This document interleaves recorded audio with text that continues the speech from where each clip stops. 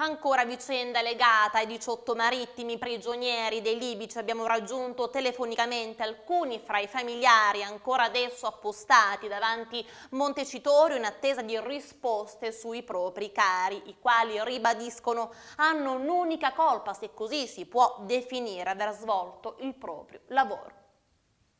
Non abbiamo, nonostante siamo ecco, così vicini al nostro governo, nessuna risposta, nessun dato concreto della, della reale situazione.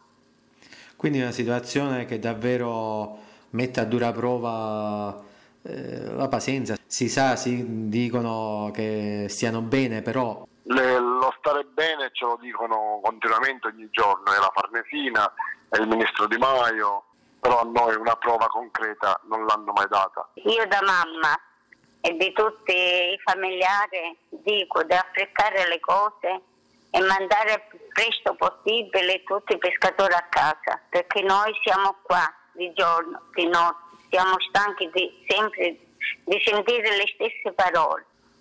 Davvero una situazione che colpisce al cuore, che colpisce l'intera comunità. Voi avete avuto risposte, principalmente sentite vicino la comunità eh, mazzarese, la comunità italiana? E insomma, diciamoci, però vogliamo più aiuto possibile.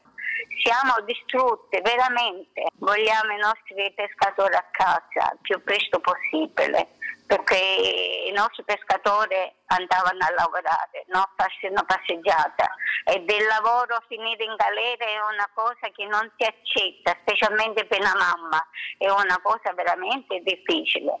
Comunque accettate e dateci aiuto il più presto possibile. Vi ringrazio anticipato.